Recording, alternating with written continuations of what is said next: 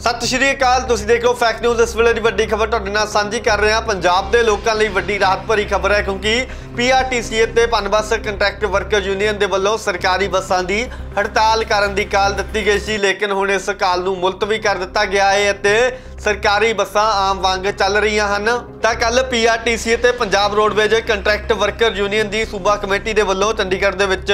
Director state transport ਦੇ ਨਾਲ meeting ਕੀਤੀ ਗਈ, ਜਿਸ ਤੋਂ ਬਾਅਦ ਵਰਕਰ ਯੂਨੀਅਨ ਨੇ ਸੰਤੁਸ਼ਟੀ ਦਿਖਾਈ, ਜਿਸ ਦੇ ਚਲਦਿਆਂ ਉਹਨਾਂ ਵੱਲੋਂ ਹੜਤਾਲ ਦਾ ਪ੍ਰੋਗਰਾਮ ਅਤੇ ਵਿਧਾਨ ਸਭਾ ਅੱਗੇ ਧਰਨਾ ਪ੍ਰਦਰਸ਼ਨ ਕਰਨ ਦਾ ਪ੍ਰੋਗਰਾਮ ਮੁਲਤਵੀ ਕਰ ਦਿੱਤਾ ਗਿਆ। ਤਾਂ ਯੂਨੀਅਨ ਦੇ ਸੂਬਾ ਜੁਆਇੰਟ ਸਕੱਤਰ ਦੇ ਵੱਲੋਂ ਇਸ ਦੀ ਜਾਣਕਾਰੀ ਦਿੱਤੀ ਗਈ। ਤਾਂ ਜੋਤ ਸਿੰਘ ਨੇ ਆਖਿਆ ਕਿ ਕੱਲ ਦੁਪਹਿਰ ਤੋਂ ਹੀ ਬੱਸਾਂ ਦੀਆਂ ਬ੍ਰੇਕਾਂ ਲੱਗ ਜਾਣੀਆਂ ਸਨ, ਲੇਕਿਨ ਮੀਟਿੰਗ ਖਤਮ ਹੁੰਦੇ ਹੁੰਦੇ ਸ਼ਾਮ ਹੋ ਗਈ, ਜਿਸ ਤੋਂ ਬਾਅਦ ਇਹ ਐਲਾਨ ਕੀਤਾ ਗਿਆ ਕਿ ਸਰਕਾਰੀ ਬੱਸਾਂ ਆਮ ਵਾਂਗ ਹੀ ਚੱਲਣਗੀਆਂ ਅਤੇ ਹੜਤਾਲ ਨੂੰ ਮੁਲਤਵੀ ਕਰ ਦਿੱਤਾ ਗਿਆ ਹੈ। ਉਹਨਾਂ ਨੇ ਇਹ ਗੱਲ ਵੀ ਆਖੀ ਕਿ ਮੀਟਿੰਗ ਦੇ ਵਿੱਚ ਮੰਗਾਂ ਬਾਰੇ ਵਿਭਾਗ ਦੇ ਵੱਲੋਂ ਸਕਾਰਾਤਮਕ ਹੁੰਗਾਰਾ ਮਿਲਣ ਉੱਤੇ ਕਮੇਟੀ ਦੇ ਵੱਲੋਂ ਇਹ ਦੋਵੇਂ ਪ੍ਰੋਗਰਾਮ ਹਾਲ ਦੀ ਘੜੀ ਮੁਲਤਵੀ ਕਰ ਦਿੱਤੇ ਗਏ ਨੇ। ਹਾਲਾਂਕਿ ਜੇ ਗੱਲ ਕੀਤੀ ਜਾਵੇ ਪੰਜਾਬ ਦੇ ਵਿੱਚ, ਹਰ ਦਿਨ ਲੱਖਾਂ ਲੋਕ ਬੱਸਾਂ ਦੇ ਵਿੱਚ ਸਫ਼ਰ ਕਰਦੇ ਨੇ।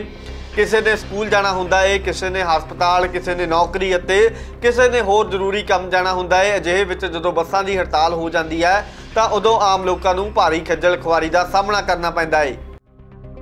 ਸਤਿ ਸ਼੍ਰੀ ਅਕਾਲ, ਤੁਸੀਂ ਦੇਖ ਰਹੇ ਹੋ ਫੈਕਟ ਨਿਊਜ਼ ਇਸ ਵੇਲੇ ਦੀ ਵੱਡੀ ਖਬਰ ਤੁਹਾਡੇ ਨਾਲ ਸਾਂਝੀ ਕਰ ਰਹੇ ਹਾਂ। ਪੰਜਾਬ ਦੇ ਲੋਕਾਂ ਲਈ ਵੱਡੀ ਰਾਹਤ ਭਰੀ ਖਬਰ ਹੈ, ਕਿਉਂਕਿ ਪੀਆਰਟੀਸੀ ਤੇ ਪਨਬਸ ਕੰਟਰੈਕਟ ਵਰਕਰ ਯੂਨੀਅਨ ਦੇ ਵੱਲੋਂ ਸਰਕਾਰੀ ਬੱਸਾਂ ਦੀ ਹੜਤਾਲ ਕਰਨ ਦੀ ਕਾਲ ਦਿੱਤੀ ਗਈ ਸੀ, ਲੇਕਿਨ ਹੁਣ ਇਸ ਕਾਲ ਨੂੰ ਮੁਲਤਵੀ ਕਰ ਦਿੱਤਾ ਗਿਆ ਹੈ ਅਤੇ ਸਰਕਾਰੀ ਬੱਸਾਂ ਆਮ ਵਾਂਗ ਚੱਲ ਰਹੀਆਂ ਹਨ। ਤਾਂ ਕੱਲ ਪੀਆਰਟੀਸੀ ਤੇ Punjab roadways contract worker union ਦੀ ਸੂਬਾ ਕਮੇਟੀ ਦੇ ਵੱਲੋਂ ਚੰਡੀਗੜ੍ਹ ਦੇ ਵਿੱਚ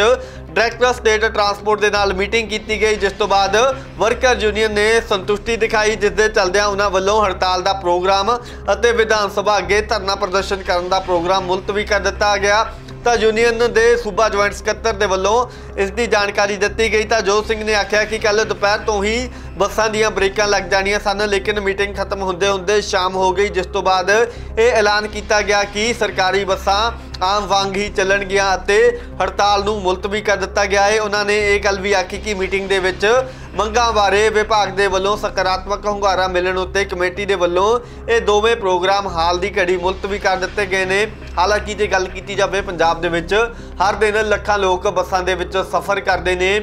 ਕਿਸੇ ਨੇ ਸਕੂਲ ਜਾਣਾ ਹੁੰਦਾ ਹੈ ਕਿਸੇ ਨੇ ਹਸਪਤਾਲ, ਕਿਸੇ ਨੇ ਨੌਕਰੀ ਅਤੇ ਕਿਸੇ ਨੇ ਹੋਰ ਜ਼ਰੂਰੀ ਕੰਮ ਜਾਣਾ ਹੁੰਦਾ ਹੈ ਅਜਿਹੇ ਵਿੱਚ ਜਦੋਂ ਬੱਸਾਂ ਦੀ ਹੜਤਾਲ ਹੋ ਜਾਂਦੀ ਹੈ, ਤਾਂ ਉਦੋਂ ਆਮ ਲੋਕਾਂ ਨੂੰ ਭਾਰੀ ਖੱਜਲ ਖੁਆਰੀ ਦਾ ਸਾਹਮਣਾ ਕਰਨਾ ਪੈਂਦਾ ਹੈ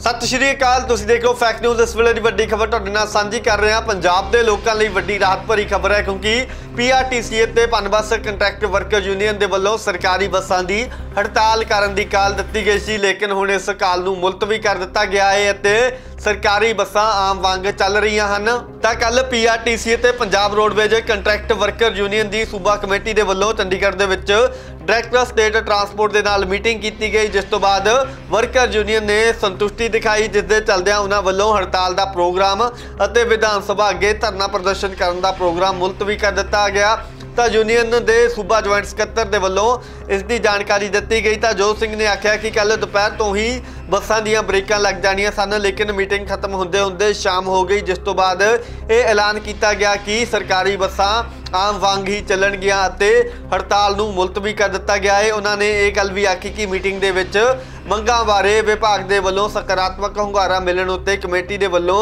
ਇਹ ਦੋਵੇਂ ਪ੍ਰੋਗਰਾਮ ਹਾਲ ਦੀ ਘੜੀ ਮੁਲਤਵੀ ਕਰ ਦਿੱਤੇ ਗਏ ਨੇ। ਹਾਲਾਂਕਿ ਜੇ ਗੱਲ ਕੀਤੀ ਜਾਵੇ ਪੰਜਾਬ ਦੇ ਵਿੱਚ, ਹਰ ਦਿਨ ਲੱਖਾਂ ਲੋਕ ਬੱਸਾਂ ਦੇ ਵਿੱਚ ਸਫ਼ਰ ਕਰਦੇ ਨੇ। ਕਿਸੇ ਨੇ ਸਕੂਲ ਜਾਣਾ ਹੁੰਦਾ ਏ, ਕਿਸੇ ਨੇ ਹਸਪਤਾਲ, ਕਿਸੇ ਨੇ ਨੌਕਰੀ ਅਤੇ ਕਿਸੇ ਨੇ ਹੋਰ ਜ਼ਰੂਰੀ ਕੰਮ ਜਾਣਾ ਹੁੰਦਾ ਹੈ ਅਜਿਹੇ ਵਿੱਚ ਜਦੋਂ ਬੱਸਾਂ ਦੀ ਹੜਤਾਲ ਹੋ ਜਾਂਦੀ ਹੈ, ਤਾਂ ਉਦੋਂ ਆਮ ਲੋਕਾਂ ਨੂੰ ਭਾਰੀ ਖੱਜਲ ਖੁਆਰੀ ਦਾ ਸਾਹਮਣਾ ਕਰਨਾ ਪੈਂਦਾ ਏ।